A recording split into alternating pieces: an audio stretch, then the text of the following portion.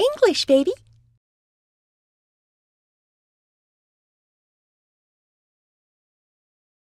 So here's my dilemma. I've got this great new apartment and it's awesome, but it's also awesomely expensive. I need to get a roommate. Oh, well, that's not a problem. There's tons of people looking for a place to live right now. I know, but I don't want to live with just anyone. I have very specific qualifications, and I think it might actually be really hard to find the right person. A good roommate is hard to come by.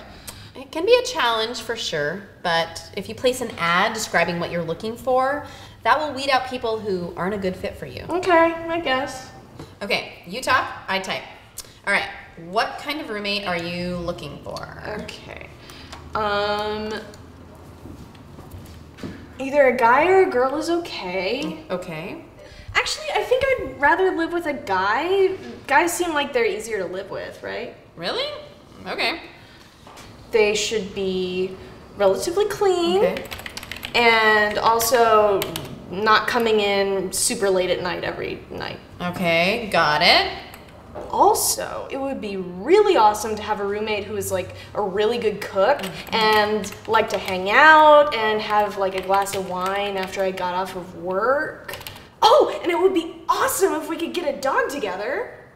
A pet dog? Yeah, I love dogs and we could take care of it together. Okay, uh, anything else? It would be cool if we liked the same authors so that then we could share books. And uh, somebody who would go to yoga class with me. I think that's it.